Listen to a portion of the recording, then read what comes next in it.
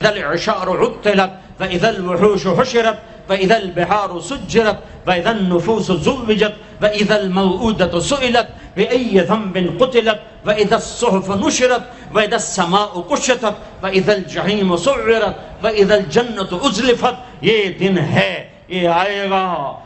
كرا كوتا ألغ هوغا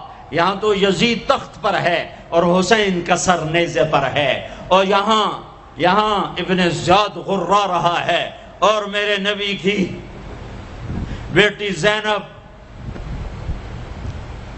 پھٹی چادر کے ساتھ آنسوں کی لڑیوں کے ساتھ گھسیٹی جا رہی ہے۔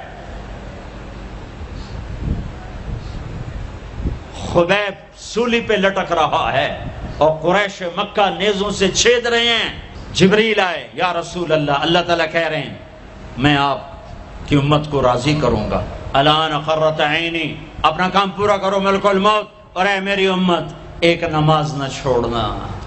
اور ایک غریبوں پہ رحم کرنا رحم کرنا رحم کرنا۔ میرے بھائیو، اللہ نے طاقت دی ہے۔ جھک جاؤ جھک جاؤ جھک جاؤ۔ اگر میری آواز ان بچوں تک جا رہی ہے جنہوں نے ہتھیار اٹھائے ہوئے ہیں، اور تم میری، چھوٹے ہو تو میری اولاد ہو، میں تمہیں باپ بن کر تمہارے ہمدرد بن کر، تمہارے آگے جھولی پھیلا کے کہتا ہوں، ایسے نہ مرو کہ اللہ کے نبی کے سامنے کھڑے نہ ہو سکو۔ یہ جہنم سے بھی بڑی سزا ہے کہ اللہ کا نبی کہے سے میری نظروں سے دور کر دیا جائے۔ یہ اللہ کی قسم جہنم سے بڑی سزا ہے۔ ایسے نہ مرو کہ ہتھ کڑیاں لگ چکی ہوں۔ ایسے نہ مرو کہ بیڑیاں پڑ چکی ہوں۔ آ جاؤ آ جاؤ آج ہم سب مل کر توبہ کرتے ہیں، کوئی چوری کرنے والا ہے، کوئی ڈاکہ ڈالنے والا ہے، کوئی اغوا کرنے والا ہے، کوئی قتل کرنے والا ہے، کوئی زنا والا ہے، کوئی شراب والا ہے، کوئی سود والا ہے، کوئی ناچنے والی ہے، کوئی بے پرد ہے، کوئی ماں باپ کا نام فرمان ہے۔ آج جمعہ ہے، جمعہ گزر گیا ہے، پہلا اشرا ختم، دوسرا اشرا شروع ہو گیا۔ اللہ کی رحمتوں کے در کھلے ہوئے ہیں۔ جنت کے دروازے کھل چکے ہیں جہنم کے بند ہو چکے ہیں شیطان قید ہو چکا ہے۔ اللہ کا عرش پہلے آسمان پر ہے اور اللہ روزانہ کہہ رہا ہے کوئی توبہ والا ہے تو آ جائے کوئی توبہ والا ہے تو آ جائے۔ ایک آدمی نے ننانوے قتل کیے بنی اسرائیل میں۔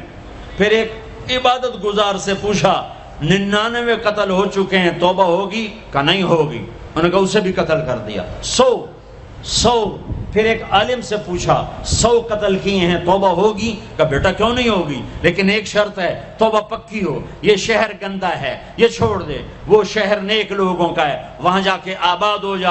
معاف، کہنے کہ مجھے معافی مل جائے، میں ہر سے چھوڑ دوں گا۔ اپنا بوریا بستر اٹھایا اور چل پڑا۔ راستے میں موت آئی۔ جب موت نے جھٹکا دیا تو اس نے چھلانگ لگائی آگے کی طرف۔ تو وہ یوں گرا یوں، اس کے ہاتھ یوں اور پاؤں یوں۔ یوں گرا۔ تو اللہ تعالیٰ نے یہ قصہ ہم تک پہنچانے کے لیے دونوں فرشتوں کو چھٹی دے دی۔ جنت کا فرشتہ بھی آ گیا دوزک کا بھی آ گیا۔ دوزک کا فرشتہ کہنے کا ہمارا مجرم، ہم لے جائیں گے۔ جنت کا فرشتہ، ہمارا مہمان، ہم لے جائیں گے۔ جہنم کا فرشتہ، توبہ نہیں کی، ہمارا مجرم، ہم لے جائیں گے۔ جنت کا فرشتہ، ہمارا مہمان توبہ کر چکا ہے، گھر سے نکل پڑا ہے۔ ہم لے جائیں گے۔ جہنم کا فرشتہ۔ ابھی اس بستی میں پہنچا نہیں ہے۔ ہمارا مجرم ہے، جنت کا فرشتہ۔ پہنچنا ضروری نہیں ہے، نیت ضروری ہے۔ تو اللہ نے تیسرا فرشتہ بھیجا۔ جاؤ بھائی، ان میں فیصلہ کرو۔ کیا فیصلہ کرو؟ یہ اس کی میت پڑی ہوئی ہے۔ یہ نیک لوگوں کی بستی ہے، یہ اس کی اپنی بستی ہے۔ فاصلہ ناپو۔ اگر اپنے گھر کے قریب ہے تو جہنم والے لے جاؤ۔ اگر نیک لوگوں کے گھر بستی کے قریب ہے، جنت والے لے جاؤ۔ جیسے یہ مائک اس سائیڈ کے قریب ہے، اس سائیڈ سے دور ہے۔ یہ یہاں گرا پڑا پانی۔ یہ یہاں گرا پڑا تھا۔ گھر کے قریب تھا اور نیک لوگوں کی بستی سے دور تھا۔ جب ناپنے لگے تو اللہ نے ادھر کی زمین کو کہا، سکڑ جا۔ اور گھر کی طرف کی زمین کو کہا، پھیل جا۔ جب پیمائش ہوئی تو اپنے گاؤں سے دور اور نیک لوگوں کے گاؤں کے قریب ہو گیا تو اللہ نے فرمایا، چلو ہمارا مہمان ہے جنت۔ توبہ سے نہ گھبراؤ۔ میرا رب کہتا ہے، پوری دھرتی گناہوں سے بھر دے اور آسمان تک گناہوں کو لے جا۔ ایک دفعہ کہہ دے، یا اللہ، میری توبہ تو سارے معاف کر دوں گا۔ تو بھائیو ہاتھ جوڑتا ہوں۔ آؤ ہم توبہ کریں۔ نیت کرتے ہو؟ حکومتوں سے آس آس بھی ہٹا دو۔ گلا حکومتوں کا گلا بھی نہ کرو۔ اس سے کیا فائدہ ہوگا ان پہ امید نہ لگاؤ کہ وہ اس قابل ہی نہیں۔ ہاں اس پہ آس لگاؤ جو شارک سے زیادہ قریب ہے۔ اس کو وسیلہ بناؤ، جس کا وسیلہ رب موڑتا نہیں، کلمے کا جز بنایا ہوا ہے۔ میراج پہ جب آپ گئے تو آپ نے پوچھا، یا اللہ، ابراہیم آپ کے خلیل موسا آپ کے کلیم، داؤد کے لیے لوہا نرم، سلیمان کے لیے ہوا تابے اور عیسیٰ کے لیے مردہ زندہ، تو میرے لیے کیا ہے؟ تو اللہ تعالیٰ نے فرمایا اولیس قد آتیتک افضل من ذالک کل اے میرے حبیب۔ واہ تیرے لیے سب سے اعلیٰ، سب سے اعلیٰ، سب سے اعلیٰ۔ کیا؟ یا اللہ، کیا؟ کہ وہ یہ ہے کہ اللہ ذکر تو اللہ ذکر تمعی قیامت تک تیرا میرا نام اکٹھا رہے گا، جدا نہیں ہو سکتا۔ جیسے تیرے رب کا نام باقی ہے، تیرے نبی کا نام بھی باقی رہے گا، تیری نسل کا نام بھی باقی رہے گا، تیرا حسب نسب بھی باقی رہے گا۔ کہ میرا رواں رواں آنکھ بن گیا اور آنسو یہ صبح کی بات. میں اثر پڑھ کے نکلا نوجوان میرے پاس آیا۔ آپ تارک جمیل صاحب ہیں؟ جی۔ کیسے پہچانا تم نے؟ کہاں کے ہو؟ کہا میں ساؤتھ افریقہ کا ہوں۔ آپ کے ساتھ مجمع تھا میں نے پوچھا یہ کون جا رہا ہے؟ انہوں نے کہا یہ پاکستان کے تارک جمیل صاحب ہے کہا جی میں آج اثر کی نماز پڑھنے پہلے آ گیا۔ تو آگے بیٹھا، مجھے بیٹھے بیٹھے نیند آ گئی۔ میں نے خواب میں اللہ کے نبی کی زیارت کیا، آپ نے فرمایا تارک جمیل کو میرا سلام پہنچا۔ میں نے کہا، میرا سلام پہنچے گا اسی میرا سی پکے ہو گئے۔ مجھے ان تقریروں پر تو کوئی امید نہیں ہے کہ میری بخشش ہوگی۔ چونکہ یہ مجموع کے سامنے بیٹھنا ایک اس کے بعد کوئی یہ دعویٰ نہیں کر سکتا کہ میں اللہ کے لیے بات کر رہا ہوں۔ اللہ کی قسم، میں آپ کے بارے میں قسم کھاتا ہوں۔ کہ آپ سب اللہ کی رضا کے لیے آئے بیٹھے ہو۔ لیکن جو یہ یہاں بیٹھا ہوا ہے، یہ قسم نہیں کھا سکتا کہ میں اللہ کے لیے کہہ رہا۔ مجھے نہیں پتا میں کس کے لیے کہہ رہا ہوں۔ میں منہ سے کہتا ہوں، میں اللہ کے لیے کہہ رہا ہوں۔ لیکن یہ موت پہ پتا چلے گا کہ اس کا مقصد واہ واہ کی طلب تھی، یا اللہ اس کے رسول کی طلب تھی۔ لیکن آپ پر مجھے سو فیصد یقین ہے کہ آپ سب اللہ کے لیے آئے بیٹھے ہو۔ تو آپ کی تو فیل شاید اللہ میری ریا کو بھی اخلاص میں تبدیل کر دے۔ تو میرے، یہ تصور میرے دل میں میں ہر بیان میں اپنے نبی کا شجرہ بیان کرتا ہوں۔ کہ ویسے بھی ہم لوگ اپنے نبی سے نہ آشنا ہیں۔ ہمیں پتہ نہیں ہمارا نبی تھا کون۔ ہمارا نبی کیسا تھا۔ ان کی زندگی کیسی تھی؟ ان کے گھر کا کیسا تھا نظام؟ باہر کا کیسا؟ ہم جانتے نہیں، ہم سیکھو سیکھو، اپنے حبیب کی معاشرت سیکھو، تجارت سیکھو۔ آپ طاقت میں آئے تو آپ نے کیا کیا؟ آپ تاجر بن کے آئے تو آپ نے کیا کیا؟ آپ خامن بنے تو آپ نے کیا کیا؟ آپ باپ بنے تو آپ نے کیا کیا؟ آپ جنگ میں آئے تو آپ نے کیا کیا؟ آپ نے ہتھیار اٹھائے تو آپ نے کیا کیا؟ آپ نے صلح کی تو آپ نے کیا کیا؟ آپ مسلح پر آئے تو آپ نے کیا کیا؟ آپ کی رات آئی تو آپ نے کیا کیا؟ سیکھو سیکھو۔ یہی تبلیغ کا پیغام ہے کہ تبلیغ میں نکل کر اللہ اس کے رسول کی مبارک اور پیاری زندگی مرنے سے پہلے پہلے سیکھو، لیکن آج کی رات میں ایک ہاں میرے ساتھ کرو۔ آج توبہ کرو۔ آج توبہ کرو۔ کرتے ہو؟ کرتے ہو۔ شیطان تو کوئی نہیں ہے، بند ہے، قید ہے۔ اور یہ عقیل کا گھر فرشتوں سے ایسا بھرا ہوا ہے کہ پہلے آسمان تک فرشتوں کی قطاریں کھڑی ہوئی ہیں۔ اور جنت کے دروازے کھلے ہیں، جنت کی حوریں دروازوں پر ہیں۔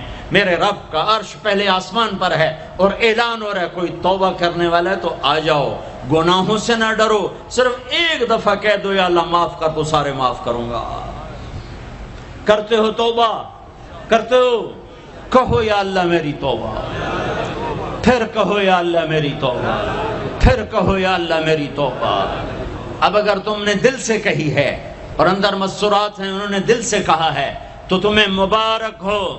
تم سب ایسے ہو جیسے آج ماں کے پیٹ سے جنم لیا ہے۔ تمہارے سب گناہ معاف ہو گئے۔ اللہ خوش ہو گیا، فرشتے خوش ہو گئے۔ جنت سج دھج گئی۔ جنت کی حوریں تمہیں دیکھ دیکھ کے خوش ہو رہی ہیں۔ مجھے میرے رب کی عزت کی قسم، میں اس کی رحمت کے دعوے پر کہہ رہا ہوں۔ آج یہاں جتنا بڑے سے بڑا گناہگار بیٹھا ہے، میں دعویٰ کرتا ہوں، اگر اس نے دل سے اس شرط کے ساتھ دل سے توبہ کی ہے تو جا جا، تجھے مبارک ہے۔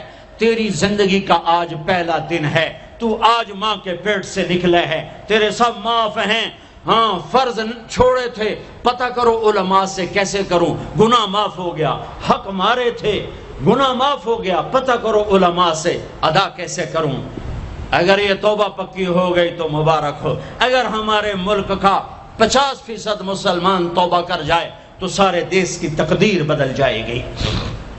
تو پکی توبہ کرتے ہو۔ اور ایک اور خوشخبری، اگر یہ توبہ ٹوٹ بھی جائے تو ڈرنے کی بات نہیں ہے۔ ڈرنے کی بات نہیں ہے۔ دوبارہ کر لینا، دوبارہ کر لینا، دوبارہ کر لینا۔ پورا رمضان پڑا ہے، پوری زندگی پڑی ہے۔ اور ایک آخری بات کہتا ہوں تراوی بیس پڑا کرو، آٹھ نہ پڑا کرو۔ تراوی کے ہر سجدے پہ ڈیڑھ ہزار نیکی لکھی جاتی ہے۔ ایک محل ہر سجدے پہ بنتا ہے جس کے ساٹھ ہزار سونے چاندی کے دروازے ہوتے ہیں۔ اور ہر سجدے پر ایک درخت لگتا ہے جس کے نیچے سو سال گھوڑا دوڑتا ہے۔ اور پھر آخری رات اللہ تعالیٰ اعلان کرتا ہے، رات کی تراوی اور دن کے روزے کے بدلے میں نے اپنے بندوں کو معاف کر دیا۔ اور ایک آخری بات، صدقہ فطر ہے۔ صدقہ فطر عام طور پر گندم کا سو روپیہ اخباروں میں میں نے پڑھا ہے۔ وہ ٹھیک ہے، جائز ہے۔ لیکن میں آپ کو اللہ کے نبی کا صدقہ بتاتا ہوں۔ بہت مالدار لوگوں کی یہ جگہ ہے۔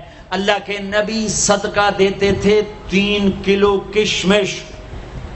گندم نہیں، تین کلو کشمش یا تین کلو کھجور۔ تین کلو کشمش چھ سو کا ہو جائے گا۔ ایک آدمی کا صدقہ فطر چھ سو ہو جائے گا۔ اور گندم کے لحاظ سے ایک سو ہو جائے گا، کھجور کے لحاظ سے کوئی ڈھائی سو، تین سو ہو جائے گا۔ تو صدقہ فطر دینا ہو تو کشمش کے تین کلو کے حساب سے پیسے دینا غریبوں کا بھلا ہوگا، غریبوں کا بھلا ہوگا۔ کسی سے لڑے ہوئے ہو، صلح کر لو۔ کسی سے روٹے ہو اسے منا لو۔ ماں باپ سے ناراضگی پاؤں پڑ جاؤ۔ بیوی کو سے ناراض ہو پاؤں پڑ جاؤ۔ بیوی ناراض ہے، خامند کے پاؤں پڑ جائے۔ سب سے زیادہ خوشی اللہ کو میاں بیوی کی صلح پر ہوتی ہے۔ میاں بیوی لڑے ہوئے ہوں اور آپس میں صلح کر لیں تو اس پر اللہ ان کے پچھلے سارے گناہ معاف کر دیتا ہے۔ اور شیطان کو سب سے زیادہ خوشی اس بات پر ہوتی ہے کہ دو میاں بیوی آپس میں لڑ پڑیں کہ اس سے پوری نسل برباد ہو جاتی ہے۔ اپنی اولاد کے لیے حلال کماؤ، حلال چھوڑ کے جاؤ، حرام چھوڑ کے نہ مرو کہ ساری زندگی کانٹے چنتے پھریں گے، ساری زندگی کانٹے چنتے پھریں گے۔ تو نیت کرتے ہو سارے بھائی، ایک دوسرے کو معاف کرو۔ اور جو ہمارے بھائی جرائم میں گرفتار ہیں ان کے لیے بھی دعا کرو۔ میرے نبی کے امتی ہیں، دعا کرو دعا کرو کہ اللہ ہمارے بچوں کو اگر وہ چھوٹے ہیں، ہمارے بڑوں کا اگر وہ ہمارے عمر ہیں، اللہ ان کے ہاتھوں سے ظلم کی بجائے عدل کروائے۔ اللہ ان کے ہاتھوں سے تباہی کی بجائے آبادی ان کے ہاتھوں سے کروائے۔ اور اللہ تعالیٰ ان کو بھی توبہ کی توفیق دے۔ وہ بھی ہمارے ہیں ہمارے ہیں ہمارے ہیں۔ ہم ان کے لیے بھی دعا کریں گے، ان کے لیے بھی دعا کریں گے کہ اللہ ان کو جہنم کی آگ سے بچا لے۔ درشری پڑھو۔ اللهم لك الحمد كما أنت أهله فصل على محمد كما أنت أهله وفل بنا ما أنت أهله إنك أهل التقوى وأهل المغفرة إنك أهل التقوى وأهل المغفرة اے وہ ذات جو عہد اور سمد ہے اے وہ ذات جو لم یلد ولم یولد ہے، اے وہ ذات جو لم یزل لا یزال ہے، اے وہ ذات جو نیند اور اونگ سے پاک ہے، اے وہ رب جو تھکن، تھکاوٹ سے پاک ہے، اے وہ رب جس کا کوئی شریک اور ثانی نہیں، اے وہ رب جس کا کوئی کف مثل، مثال شب شبی نہیں، اے وہ رب جو آسمانوں پہ بھی تنہا ہے اور زمینوں پہ بھی اسی کا راج ہے۔ اے وہ رب جو مشرق اور مغرب اور شمال اور جنوب اور فوق اور تحت کا تن تنہا مالک ہے۔ اے وہ رب جو سب کو پیدا کرتا ہے اور پیدا ہونے سے پاک ہے۔ اے وہ ذات جو سب کو موت دیتا ہے اور خود موت سے پاک ہے۔ اے وہ مالک ملک، اے وہ مالک ملک جو سب کو کھلاتا ہے اور کھانے سے پاک ہے۔ اے وہ رب جو سب کو پلاتا ہے اور پینے سے پاک ہے۔ اے وہ رب جو سب کو سلاتا ہے اور سونے سے پاک ہے۔ اے وہ رب، اے وہ رب جو سب کو پہناتا ہے اور پہناوے سے پاک ہے۔ اے وہ رب جو سب کو جگہ دیتا ہے اور خود زمان اور مکان سے پاک ہے۔ اے وہ رب، جس کے خزانوں کی حد نہیں، جس کے ملک کی حد نہیں، جس کے لشکروں کی حد نہیں، تیرے سامنے تیرے حبیب کی لٹی پٹی امت آئی بیٹھی ہے۔ مالدار بھی لٹے پٹے غریب بھی لٹے پٹے دکھ دردوں کے مارے ہوئے میرے مولا۔ اے میرے رب، آج ہماری سن، تجھے نو علیہ السلام نے بھی اپنی کہانی سنائی تھی۔ آج ہم بھی تجھے اپنی کہانی سنت۔ اے میرے رب، اے میرے رب، اے میرے رب۔